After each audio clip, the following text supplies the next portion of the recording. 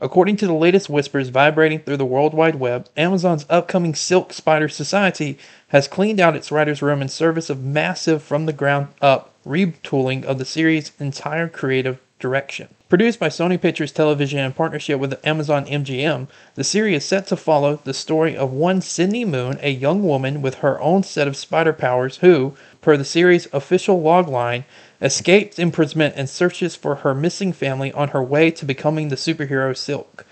Notably, while the heroine's entire existence being solely tied to that of Spider Man, she receives her powers from the very same radioactive arachnid which results in her origin and freed from her underground prison thanks to his help.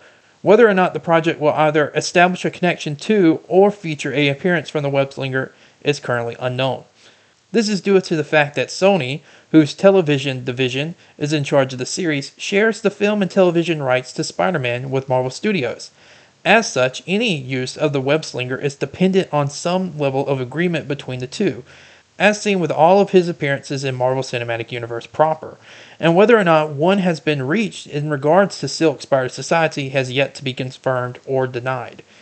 Though it's first entered full production in November of 2022, the onset of the 2023 Writers Guild of America strike resulted in the series being put on indefinite hold until the labor dispute eventually came to a close in September of 2023.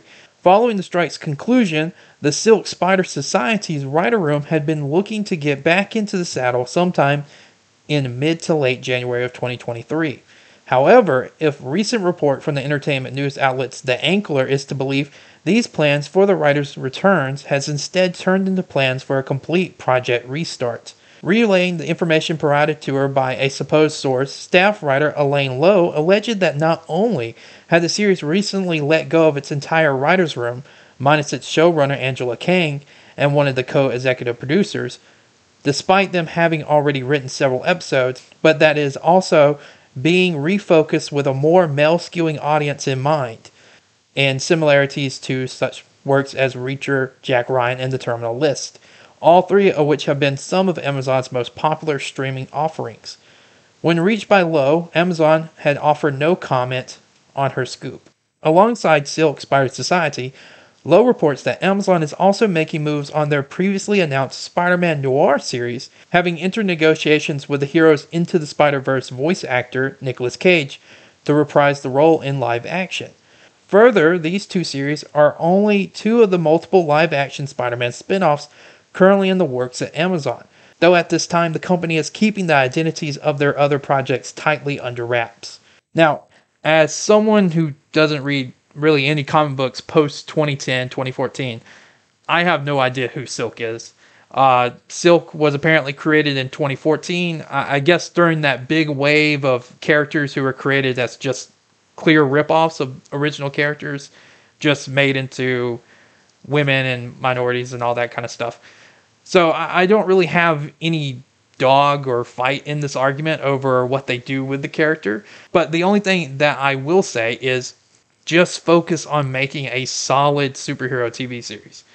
Don't do anything that messes up, that focuses on race, sex, or religion, unless it actually is like a core tenet to the driving force of the character. Just, you know, give people an hour long episode that makes them forget about the world. You don't have to do a female version of Reacher or Terminal List or Jack Ryan. Just do a superhero show. You know, people want Daredevil, like Netflix is Daredevil make scenes feel gritty and dark and realistic to a degree that actually can work in a superhero story. And just don't shit on anybody.